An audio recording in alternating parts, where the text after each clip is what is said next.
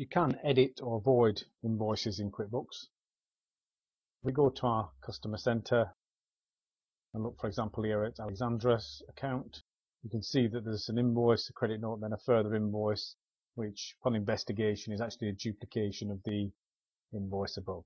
Now, this invoice hasn't been sent to the customer. We may wish to either edit it or void it. It's been sent to the customer.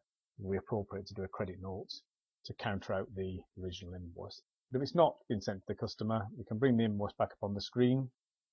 Here's our invoice number 76. We wouldn't want to delete it because that would lose our numbering sequence in our invoices and 76 would disappear from our invoices that we've got raised.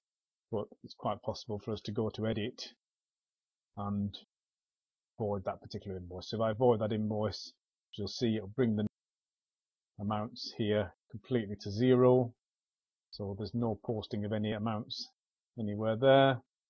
And on the memo at the bottom here, it's got void. And I can type here the message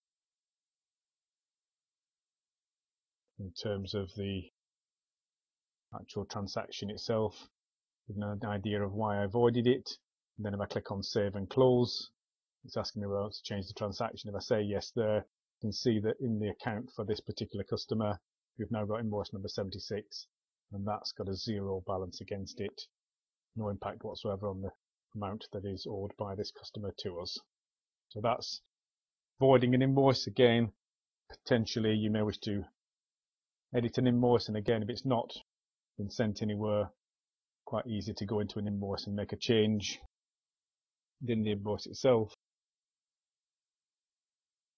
And then save that change and then it will record the nature of the change that you've transacted. Again, it asks you the question, are you sure you really want to change that? And if you say yes, that has then updated that invoice and added a particular phrase onto there.